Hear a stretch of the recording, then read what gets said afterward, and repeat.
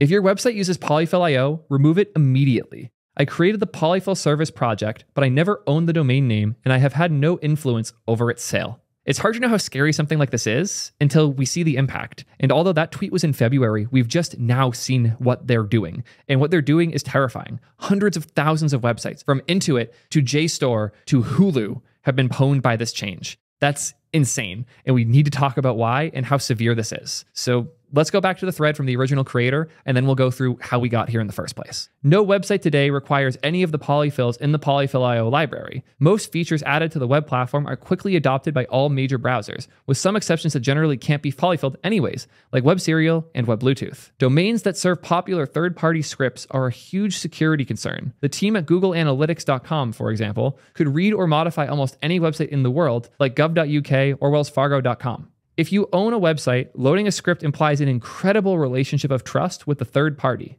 Do you actually trust them? Well, after what we've seen here, no. There's some real scary stuff going on here. If you're not familiar with the risk here, as soon as you embed a script into your website, as long as that's part of the HTML, that script now has the ability to modify anything the user sees and does, which is terrifying. Even with all of the cross site scripting stuff, that we've been introducing in the browser for a while now to make things safer. The idea of embedding a script tag on your site from a place you don't own, even trust especially, that's terrifying. So why are we talking about this right now? Polyfill.io. If you're not familiar with Polyfill.io or polyfills in general, Polyfill.io was a source of a bunch of polyfills for people who wanted their websites to work with old browsers. So if you were using a bunch of new modern JavaScript things, you could embed the Polyfill.io like packages into your browser, into your website is just like HTML tags. And then your website could use modern JavaScript features in browsers that didn't necessarily support them. This was a big deal back in the day when every browser was really far behind on the standards before Chrome came out and forced everyone to embrace standards, which I know you guys don't like when I say that, but it's reality. Interesting that this link now contains malicious content that may cause technical harms. We've decided to preserve the content for security research purposes. Please exercise caution when clicking links downloading releases, or otherwise interacting with this repo. Has anyone else ever seen this on GitHub? Because this is insane. I've never seen this before. But I want to view the repo. Polyfill.io is a service which makes web development less frustrating by selectively polyfilling just what the browser needs. Polyfill.io reads the user agent header of each request and it returns polyfills that are suitable for the requesting browser. Cool thing. I see why a lot of people like this. A lot of people just blindly embedded Polyfill.io in their websites with their JavaScript tag which is terrifying for a whole bunch of reasons, especially because the person who created Polyfill.io did not own the domain. As they said in the tweet here, they're one of the original creators of Polyfill. They created the Polyfill service, but they never owned the domain name and they had no influence over its sale. The thing here that's been deleted was somebody saying that Polyfill.io, the domain, got sold to some sketchy third party. And since then, they've been doing some really not great stuff. What is that not great stuff, though? Well, thankfully, Rich linked this. Polyfill supply chain attack hits 100,000 websites. The new Chinese owner of the popular Polyfill.js project injects malware into more than 100,000 websites. That's insane. That's actually insane. And they could do that just by buying the domain and then serving sketchy JavaScript through it instead. Apparently, somebody launched a DDoS attack against their infrastructure, them being the company that covered this. We've scaled our capacity. However, now the attack has shifted to our payment provider, which has temporarily suspended their service to us. We are working with them to get this restored ASAP. Apologies for the inconvenience. That's terrifying that this poor fucking Sansec company is being attacked for posting this. They also are updated earlier that Google's already started blocking Google ads for e-commerce sites that are using Polyfill.io. Because again, if you're using Polyfill.io and you have these sketchy JS files, they can do anything on the site. And if Google is serving ads on your site and this other JavaScript is running, it could be used by these companies to spam Google ads and trigger a bunch of events they don't mean to trigger and fundamentally break Google's ad network. So now they're just blocking anybody who has the Polyfill.io domain in their script tags to lower the amount of risk. Some notable users of Polyfill.io are things like JSTOR, Intuit, and the World Economic Forum. It's not just small little websites. Like JSTOR is massive. This is where so much academic research is put. It is a site that academics use literally every single day for hours a day to go through important research and papers. The fact that this has an issue with Polyfill.io and that anybody using the site could be compromised now is terrifying. It's actually terrifying. And also Intuit is, as people are saying in chat, Similarly big deal because Intuit is a tax company. I use Intuit for my management of a bunch of the things for the channel, and they have access to a lot of my financial information. I'm now scared to go to the Intuit website because Polyfill.io might scan all of my bank documentation. If I don't go there, they can't. But the, the moment I go to that website, I'm now at risk. In February this year, a Chinese company bought the domain and the GitHub account. Since then, the domain was caught injecting malware on mobile devices via any site that was embedding from CDN Polyfill.io. Any complaints were quickly removed from the GitHub repo. Apparently, they were deleting the complaints people were raising in the repo as far back as February. So this tweet from the creator of the Polyfill server saying to not use it anymore for the or, er, or er, for this project. And I read a tweet that you wrote that you gave a company called Funnel the rights to keep it open source and to run a domain service called Polyfill.io. This is the, the tweets that got deleted. Been in discussion with Funnel for many months now, and they will be the new maintainers and operators of the GitHub repo, which remains open source. And as of the 24th of February, they're starting to provide the service for Polyfill.io. I then looked up the company Funnel to see what it was all about. Funnel says made in the USA on their website, but there's Chinese on the site, and the main contact page is also in Chinese. And Funnel appears to represent, I'm not familiar with what this is. In their terms, we are not responsible for viruses and you must not introduce them. We do not guarantee that Polyfill.io will be secure or free from bugs or viruses. You are responsible for configuring your information technology, computer programs, and platforms to access Polyfill.io. You should use your own virus protection software. Am I correct in that this project that we don't give any alerts when we change the terms? Am I correct that there's no obligation on the service to give any advance notice when they change those terms?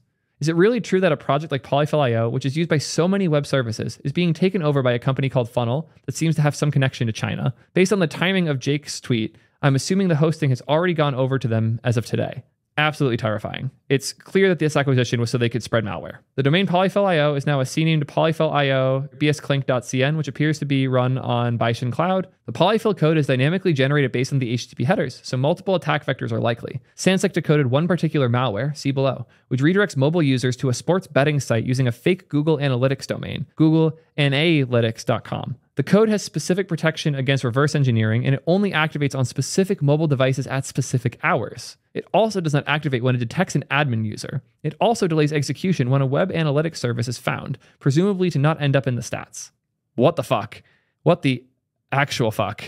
Eh, sorry, Googie Analytics. I thought that was Google. Yeah, it's easy to, to see this in your URL bar and not even notice. The original Polyfill author recommends to not use Polyfill at all, as it is no longer needed by modern browsers anyway. Meanwhile, both Fastly and Cloudflare have put up a trustworthy alternative if you do still need it. This incident is a typical example of a supply chain attack. To get visibility into the code that your users are loading, we recommend our free CSP monitoring service. Yeah, if these are writing about these things, they clearly are pretty deep in the know. Oh boy. Apparently, a low level is hanging out now because he heard we were talking about security stuff. Nation state malware server. Yep, almost certainly. Not surprised at all. Polyfill malicious payload example. We added some names for readability. However, Tiaozhuan came from the original malware, which means jump in Chinese. So here we have the code that it runs when you load the page. Is Win, navigator.platform Win32 or Windows. Is Mac is Mac, all the different potential platforms that, that could be. If Mac or Windows, return true, else return false. Catch. Fun naming for a variable here because it's all obfuscated to all fucking hell. If you ever wonder why there's variables like this in your JavaScript code, it's not because they're trying really hard to look like low level engineers like our friend low level learning here. Unless people know what memory addresses are, they're just putting these to make it harder to read the code and using crazy obfuscation tools to make it hard to read the code. So the vfeed update function if this thing that we're calling here is not equal to empty string, then we will load the JS for Googie Analytics HTML check cache HW. So this is an actual thing from Google Analytics, but they have this fake domain to make it less likely you notice. And if user cache is true, then we assign the window location href to this variable, which is the variable that defines the URL that we want to load instead. And then the check tiaozhuan call is for checking if we should jump. We check if it's mobile. And if it's mobile, we grab the current host, the referrer for the document, the redirect URL, this URL that we want to send them to, a random number, date, and hours. And if a handful of these conditions are true, specifically you're not on one of these domains, we set this redirect URL. Otherwise, we send you to any one of these other URLs based on all of this additional pile of if statements. Absolute chaos. This is nuts. This is fucking nuts some of the indicators of compromise they pointed out here are these URLs. If you see any of these URLs being accessed from any of your services, you're compromised. Send out notice to your users. Get Polyfill out of your shit right now and jump on this because I'm sure a lot of people are getting pwned right now and don't even know it. It's surprising the story isn't bigger, both by the the nature of how chaotic this stuff is, but also because people don't talk about a library and a service as old as Polyfill.io nowadays. People don't think about polyfilling anymore, which is why this is such a good attack. Thankfully, Cloudflare jumped on this a couple days ago. They launched an alternative endpoint to Polyfill under CDNJS back in February. We strongly encourage immediate replacement of any remaining links to Polyfill with the CDNJS alternative endpoint. Our interest in creating an alternative endpoint was also sparked by some concerns raised by the community and main contributors following the transition of the Polyfill.io domain to a new provider. I bet this is the GitHub issue that they've purged. Yep, this issue has been deleted. They're trying so hard to cover this shit up. It's insane. Irrespective of the scenario described above, this is a timely reminder of the complexities and risks tied to modern web applications. As maintainers and contributors of CDNJS, currently used by more than 12% of all sites, this reinforces our commitment to help keep the internet safe. Apparently, you can actually deploy a Cloudflare worker to override any script tags that use the old domain automatically for you, which is not the worst solution if you don't own the HTML that you're serving but need to, to fix those things. Automatically replace Polyfill.io links with Cloudflare's mirror for a safer internet. Polyfill.io can no longer be trusted and should be removed from websites. Multiple pages corroborated with data seen by our own client-side security system, PageShield, have shown that the Polyfill service was being used and could be used again to inject malicious JavaScript code into users' browsers. This is a real threat to the internet at large given the popularity of this library. Over the last 24 hours, we've released an automatic JavaScript URL rewriting service that will rewrite any links to Polyfill.io found at a website proxied by Cloudflare to a link to our mirror under CDNJS. This will avoid breaking sites functionality while mitigating the risk of a supply chain attack. That's cool that they have just a checkbox you can click. I know I've bashed on Cloudflare a whole lot here, but I know a ton of you are using it. Being able to just hit a checkbox and get over this for now is huge. Apparently, this script tag still exists on hulu.com. I want to confirm that quick. Let's grab the HTML. We're going to have to ask our favorite Hulu engineer, Primeagen, to confirm this for us later. Cool. Well, yoink. Good old 10,000 lines of HTML. We love that. Yep. That's actually hilarious that Hulu is currently pwned at the moment. That's nuts. That's actually nuts. Holy shit. Hey, at Hulu, just so you know, you are currently compromised and a by including the polyfill.io domain, you are allowing a malicious third party to run whatever JS they want on all clients. You need to fix this ASAP. Doing my responsible disclosure of publicly tweeting, letting them know that one of the biggest websites on the internet is currently compromised. That's insane. That's actually insane. I can't believe this is real. Contrary to what is stated on the Polyfill.io website, Cloudflare has never recommended the Polyfill.io service or authorized their use of Cloudflare's name on their website. We've asked them to remove the false statement and they have, so far, ignored our requests. This is yet another warning sign they cannot be trusted. If you're not using Cloudflare today, we still highly recommend that you remove any use of Polyfill.io. Yep.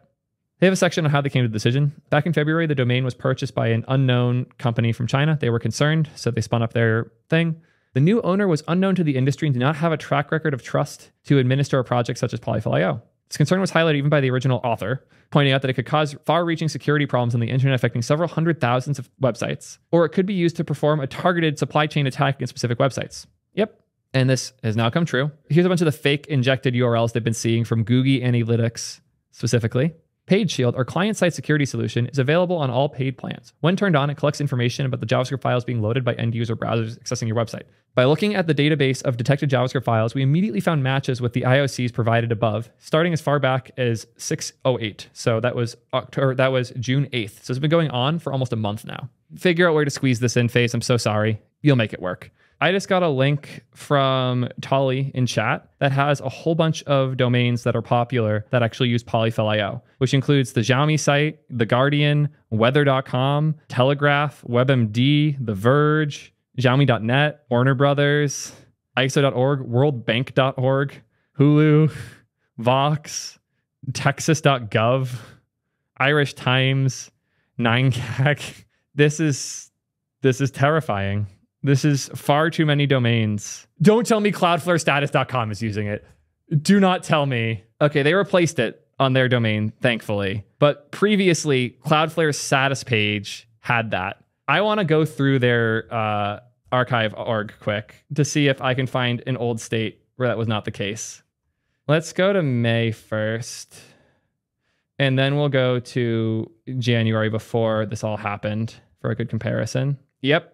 This is May 1st. They were still using Polyfill IO on Cloudflare status. That's hilarious. They built the service to redirect it somewhere better and then didn't on their own status page. That's actually really funny. June 1st, they were still using Polyfill IO. June 18th, and we'll do the 24th. Cool. So June 24th. So literally just two days ago, they were still using Polyfill IO, the website, on their own things at Cloudflare. They were still serving the Polyfill IO URL that was exploited to their own customers. So that's just fucking uh, both hilarious and showcases the severity of this issue. The fact that even Cloudflare, despite having an article, had the same problem. Whew, terrifying. Yeah. And as chat pointed out, they didn't even pin it to a specific hash. So yeah, that was bad. Well, I'm terrified. You should be too. Go get Polyfill out of your services. And if you see somebody else with the service using it, make sure they know how bad this is because I'm terrified. Until next time, peace.